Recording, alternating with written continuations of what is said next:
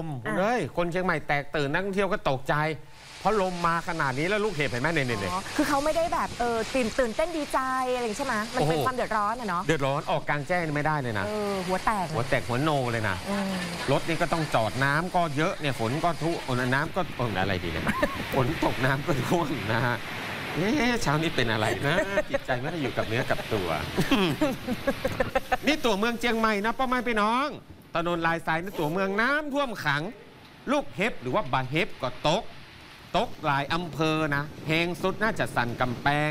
สันทรายแล้วก็แม่ริมนี่โอ้แล้วลมแหงตัว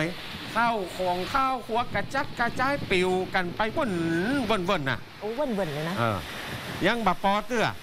นะฮะบะเฮฟนี่มันไปตกดอยหลวง ที่บ้านยางเปียงอำเภออมก่อยจังหวัดเชียงใหม่ ไปพอเจ้าบ้านเพื่อนถ่ายมาคือพอกำลังลงโซเชียลนะนี่โอ้นี่เยอะมากเลยอะ นี่เจ้าบ้านถ่ายเองนะเยอะมากพูดว่ายังไงปลาล้ำปลาเหลือโอ้ปลาล่ำปลาเหลือน่ะ นักขนาด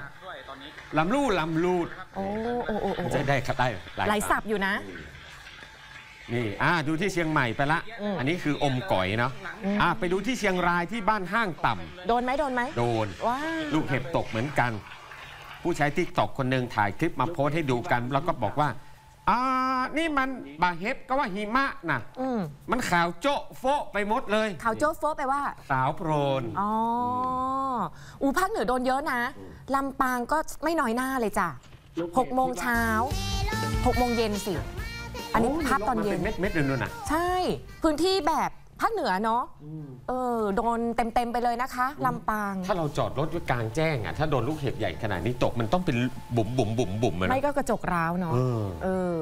ถ้าจอดกลางแจ้ง ถ้าเราไปยืนกลางแจ้งเราต้องกลางจ้องไหมพี่เราต้องกลางจ้องไหมงั้นก็หัวแตกหัวโนนะฮะอืม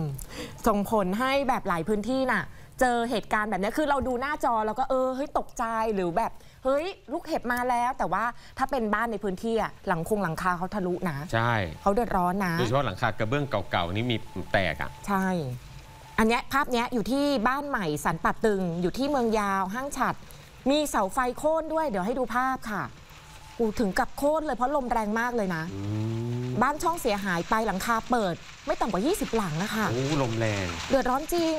แล้วก็มีต้นไม้หักขวางถนนหลายจุดอยู่เหมือนกัน ฝนนี่